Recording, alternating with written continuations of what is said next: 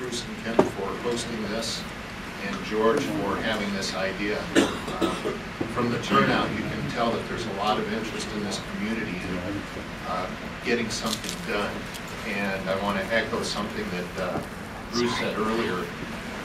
Our economic uh, recovery in the United States is going to come right here. This is uh, where ideas are forged, businesses are built, and what Bruce asked me to talk about today was springboarding your business. And as a small business development consultant, I see businesses in every stage from I've got a great idea to we've got a management team, initial funding, SBIR grants, and we need to commercialize. So there are a couple of things I wanted to leave you with today. Uh, one of them is a couple of great resources. So if you're looking for money, and I know a lot of people uh, Angel List is a kind of a crowdsourcing website where you can post a project and investors actually go there to look for ideas.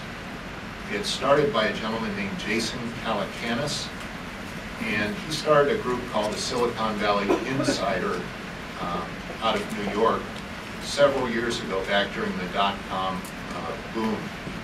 And then he sold that off, uh, became an angel investor himself. He's kind of a maverick in the angel investing circle, and he thinks that by next year, crowdsourcing is going to be where angel investment comes from. Uh, he thinks that people, there's a, there's a website called Kickstarter. It's another place where you can go online, post a, an idea or a project, and get investment money from crowds.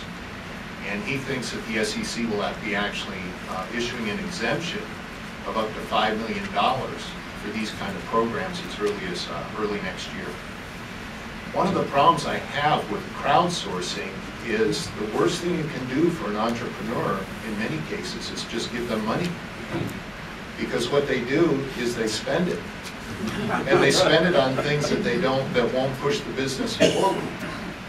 So I've seen it happen time and again where somebody actually does get the money they're looking for. And the next thing you know, they're calling you back and they're saying, I'm out of money, I need more money. And it's like, okay, well, what milestones have you hit? Well, we're almost to milestone number one. That, that just doesn't work. So one of the keys to having an angel investment group, and one of the reasons I'm really excited about what Bill's doing, is that you need more than just money, you need mentorship.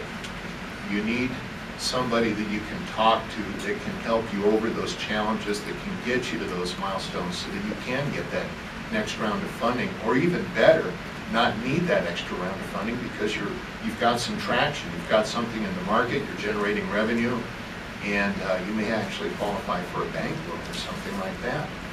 Uh, one of the problems I see angels, or not angels, but entrepreneurs doing is giving up too much of their company too early. And it's because you don't have those resources. You don't have the person behind you that can tell you, look, here's what you need to do. So we've got a number of resources in that area here today. We've got Keith with SCORE and some of the other gentlemen from SCORE. They're very good at helping. These are guys who have been there and done that. You need their advice. You have uh, the TriTech Small Business Development Center.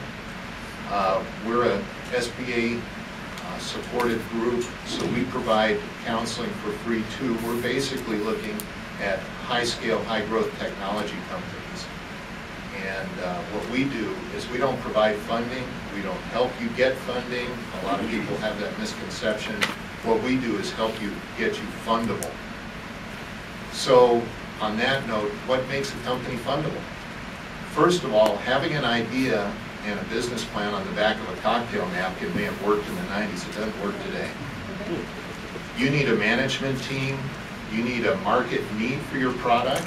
I mean, you may have the greatest product in the world, but if nobody's going to buy it, it doesn't matter to an investor. It may matter to you, it may matter to a couple of people, but you need a market need for your, your service. You need to show why your need is unique. You need to show why you uniquely fulfill that need and what your competitive advantage is. You need all of these things wrapped up in some kind of uh, PowerPoint presentation or slide pitch and then the one thing that you need, and There are people out there who say, well, you don't need a business plan. You need a plan.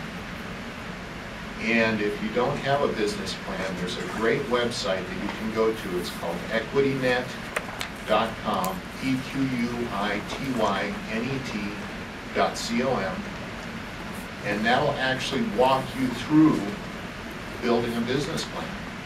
They do charge for the service, but it's pretty minimal. And the nice thing about equitynet.com is they'll actually, if you sign up for their premium service, they'll tell you where the holes are in your business plan. So it's like having an advisor online. If you do have advisors like myself or the guys from SCORE, or some other business advisor that you like, you can invite them as a user onto the equitynet.com platform, and they can go in and take a look at your business plan as it's being developed, and they can put in notes on it. It's a cloud-sourced application, so everyone can join in together. So I think that's another great resource. So you need a business plan. And then, obviously, you need money. And that's where this angel group comes in. And obviously, I could go on and on and on about springboarding your business, but, you know, I don't want to bore you. What I want you to know is you're not alone. You can see around you, there's a great network of people here. I suggest that we all start networking with each other. Uh, My email address is jgoth at redtailcapital.com. I also have some business cards. If you want to approach me afterwards, I'd be happy to hand them, hand them out. Am located in the Rabobank building on Murrieta Hot Springs Road. I work out of my garage, or actually, I have an office in my house, above scale. But one of the things I talked to Bruce about, and just to leave you with this, is I know that there are thousands of entrepreneurs here in the Murrieta Temecula area that are working out of their bedroom like I do. And I told Bruce, my goal is to get everyone out of their bedrooms into an office, hiring and generating economic activity. That's really how we get graded at TriTech, is what kind of economic impact do we have? So if I can help you grow your plan, attract a team, get funded, and get out and generating revenue, we've created economic impact, and that's what Bruce is all about, that's what Kim's all about, that's what I'm all about. Thank you.